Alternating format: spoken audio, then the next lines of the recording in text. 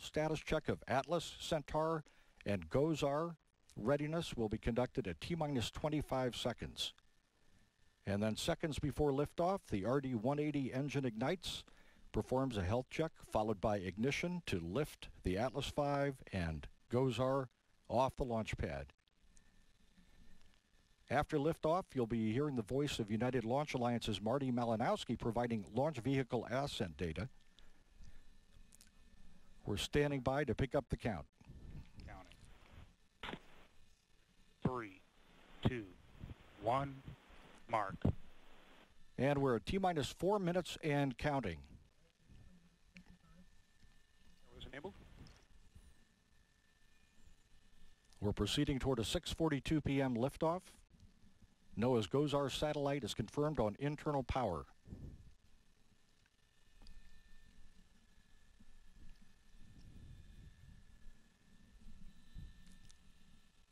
The Atlas will be heading nearly due east, 100.7 degrees, and will reach Mach 1, or the speed of sound, about 35 seconds after liftoff.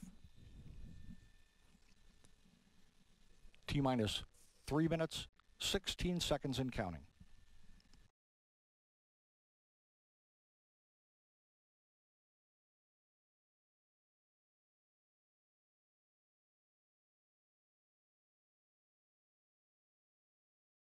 Three minutes. Securing LO2 topping. Atlas tanks to flight pressure. Two minutes, 50 seconds. Just internal.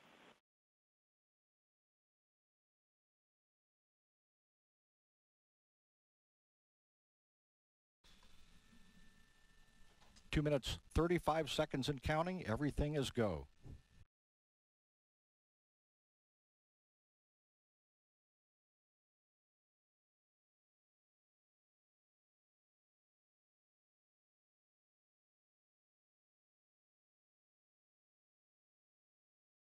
Just a few seconds away from transferring Atlas and Centaur power to internal.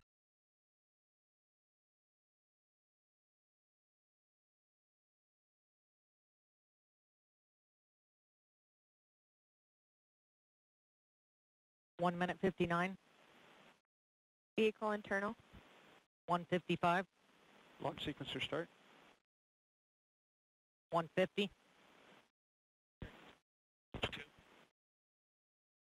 Securing Centaur LO2.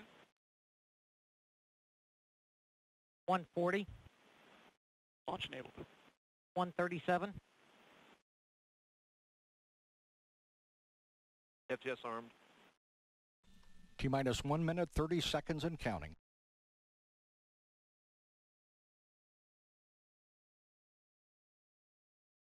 One twenty. OCU's armed. FCS count started. One fifteen. Reduce ECS for launch. Roger. One ten. Standing by for the final range status report. One minute. Rock, report range status. Range green. Range is green and we are go for launch at 6.42 p.m. 50 seconds away from liftoff.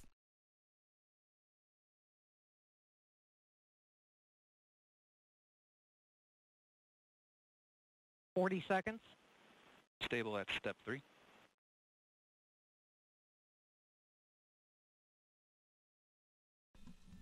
T-minus 30 seconds and counting. Twenty-eight. ECS reduced for launch. Roger. Twenty-five. Status check. Go Atlas. Go Centaur. Go GOES-R. 15 seconds and counting. T-minus 10, 9, 8, 7, 6, 5, 4, 3, 2, 1. And liftoff of NOAA's GOES-R, America's most advanced weather eye in the sky, elevating environmental intelligence to new heights and saving lives. Neo's gone to close-up control. Engine response looks good. Now flying the zero angle attack phase of flight. Body rates look good. Booster has throttled down as scheduled. Response looks good. Roll program is complete. Body rates controlling down the middle. Listening to the voice of Marty Malinowski. Mach 1.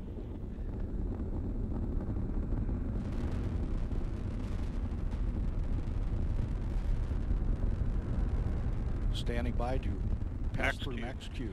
This is the maximum aerodynamic pressure area. When mechanical stress on the rocket reaches its peak because of the rocket's velocity and resistance created by the atmosphere. Controlling down the middle. NASA's Atlas V Booster has begun throttling back up. Right on schedule. And- response looks good. GOES-R spacecraft continue into flight. Signatures are good at this point. The uh, United Launch Alliance Atlas booster doing its job. 10 seconds.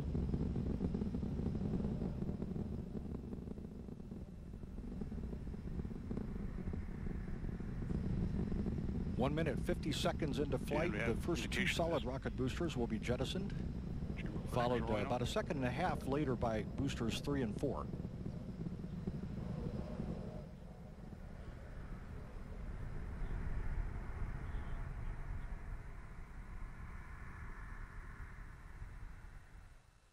Coming up on SRB jettison, and we have the first pair and the second pair.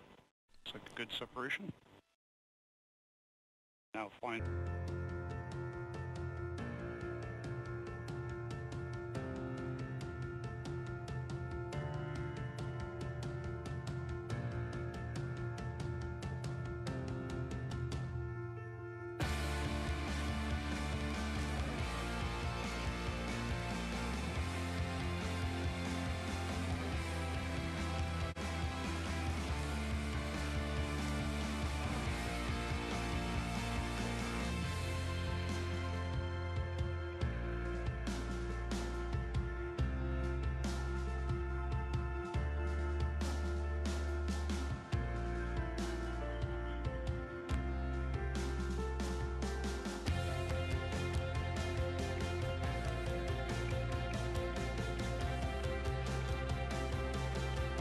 Now pressurizing to flight level. Signatures look good.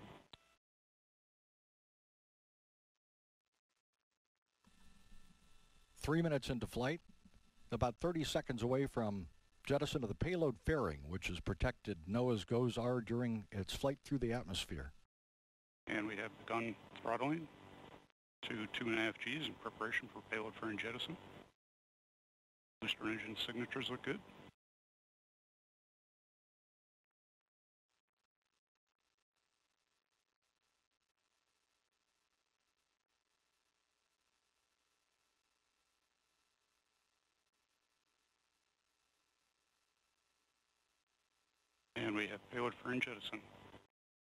Looks like a good jettison. Three minutes, 42 seconds into flight. And we have throttled back up. Next, approaching our 4.6 G constant throttle. About And we have begun to throttle. Boost phase cool down is underway. about 30 seconds away from booster engine cutoff.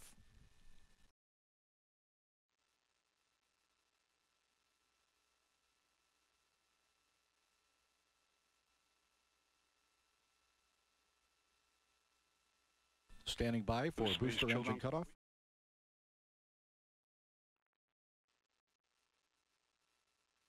And we have BECO. Engine shutdown looks good.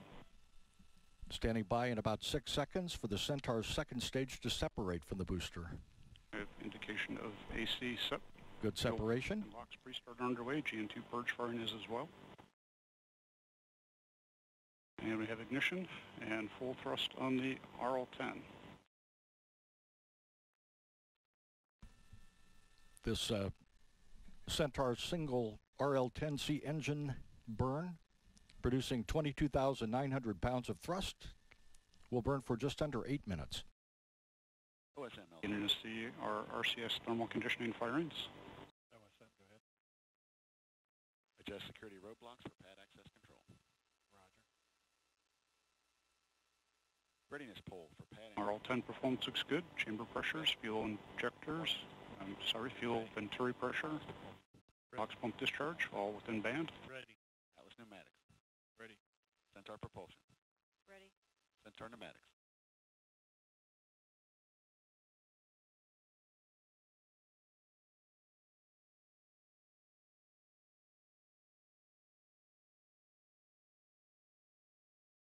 Ready.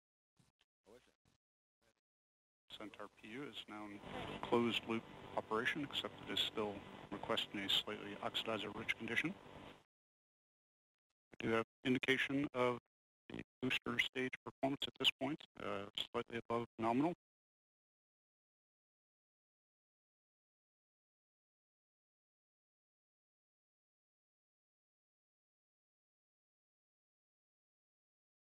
RCS line temperatures continue to warm towards bottle temperatures. All 10 performance continues to look good.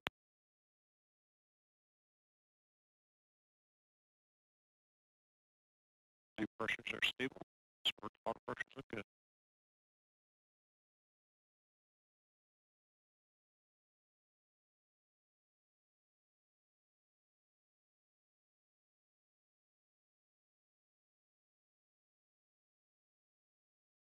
Our body rates continue to look good, controlling down the middle. Current altitude 139 miles, downrange distance 888 miles, current velocity 14,209 miles per hour. Coming up on the format change.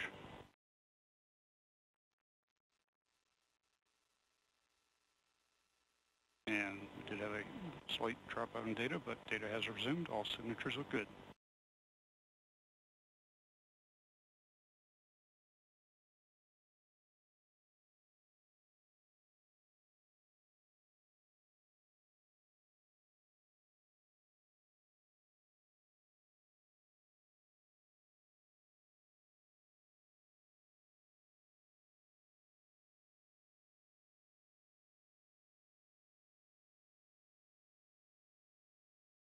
Centaur continues to look like it's making good progress down the middle of the range track. Current altitude 147 miles, downrange distance 1133, current velocity 14,715. Looking at a live track of the Atlas Centaur GOES-R rocket uh, as they transit across the Atlantic Ocean. The Centaur is powering the uh, GOES-R satellite. Controlling near nominal MR. This flight will uh, continue on for more than three hours as uh, the Centaur and engine will uh, have a total of three burns before spacecraft separation later tonight.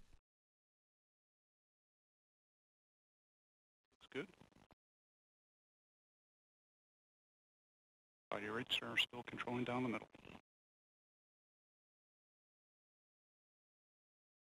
Centaur currently is flying at altitude of 150 miles, downrange distance 1,389, current velocity 15,600, 15,290 miles per hour.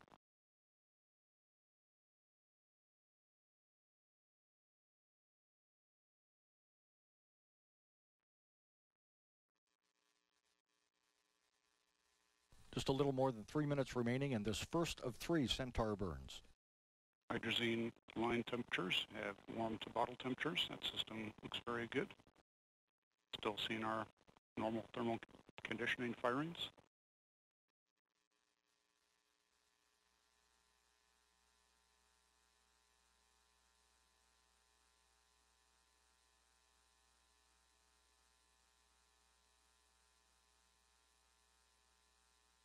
And Centaur PU is now controlling near nominal, having worked off the excess oxidizer.